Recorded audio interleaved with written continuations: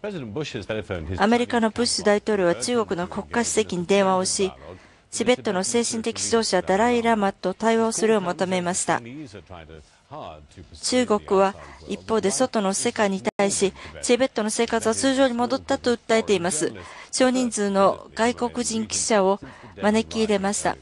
ラサの暴動以来初めての取材です。BBC は招かれませんでした。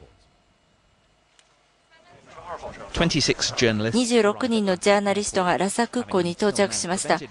これまで記者はチベットに入ることができませんでした。今回の取材旅行ですが、中国の厳しい監視のもと行われました。アジアと欧米のニュース局が選ばれました。バスに乗り、そしてチベットの主要都市へと向かいます。その間、いくつか検問所を通りました。警察の放送が流れていました。今回の混乱はダライラマ一派によりもたらされたものだ。彼らに抵抗しなくてはならないという内容です。警察官に聞くと、これは通常の検問だと言っています。免許証の不携帯やスピード違反を取り締まるためだと言っています。ラサに着くと、暴動の際の暴力の爪痕が残っています。中国側はダライラマの指示者の行為だと言っています。そしてチベットの生活は通常に戻ったと言い、パタラ宮殿ジャーナリストを連れて行きました。ダライラマがかつて住んでいたところです。水曜日には、ラサ暴動以来初めて観光客にその門が開かれました。この慎重にプランされた取材旅行、リポーターには自由は許されませんでした。チベット亡命政府の報道官です。ジャーナリスト、個人、そして様々な機関がチベットに行けるようにすべきです。中国はこれを許可していません。私たちはもっと要求すべきです。中国がこれを拒否すれば何かそこに隠すことがあるということです。中国とチベット亡命政府の対立は続いています。今月頭に何が起こったのかについてです。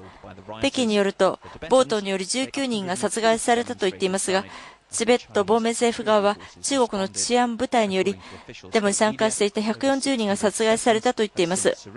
また、中国の国営放送は以来600人のチベット人が出頭したと言っています。ポール・アダムスがワシントンにいます。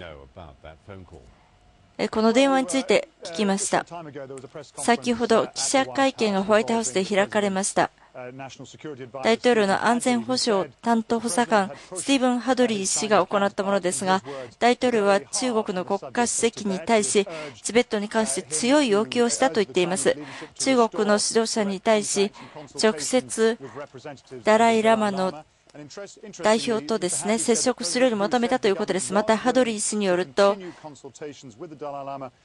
中国政府はダライ・ラマ側が独立の話を持ち出さない限り、そして暴力を非難すれば、この接触する準備があるというふうに言ったということです。実際にその中国政府が実行に移すかが今注目されています。ダライ・ラマ側との対話が実現するかどうかです。